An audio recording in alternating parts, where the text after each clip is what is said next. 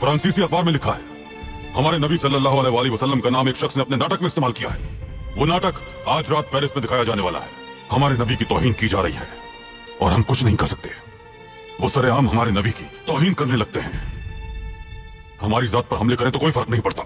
लेकिन कोई हमारे दीन, हमारे नबी पर हमला करे तो हम कमर से भी उठ जाएँगे। अपनी तलवार से उनके टुकड़े कर देंगे। वो हमें मार डाले। हमारे गोश्त के टुकड़े टुकड़े कर दे।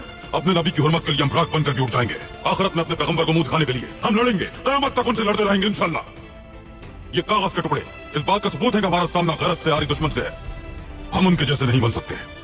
लेकिन अपने दिफा से भी गुरेज नहीं करेंगे। फ्रांस के सफीर को फौरी बुलाया जाए। जो आपका हुक्म